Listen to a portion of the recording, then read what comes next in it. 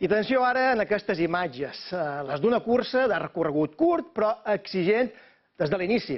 Un bon entrenament per a les pròximes proves de fons del calendari menorquí. Rampes com aquestes són les que han saludat els 150 participants de la 13a edició de la cursa del Camí Reial, a Ferreries. Són 10.500 metres, mescla d'asfalt i camins rurals exigents ja des de l'inici. Joan Moreno ha creuat la meta en 36 minuts i 14 segons i Maria Pellicer ho ha fet en 40 minuts i 33 segons, com a primers classificats.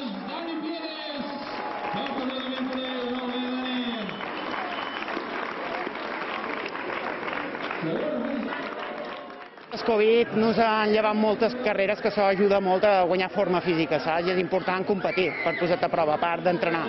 I això, volis o no, ajuda a agafar sensacions i, bueno, i com no, pues, bueno, sí, sempre amb una victòria és un, una dosis de confiança. Que està bé, molt bé com a preparació a les 10 milles que tinc ja d'aquí 3 setmanes, que el circuit de les 10 milles són 16 quilòmetres de sube i baja i és que mi real és un estil en aquesta.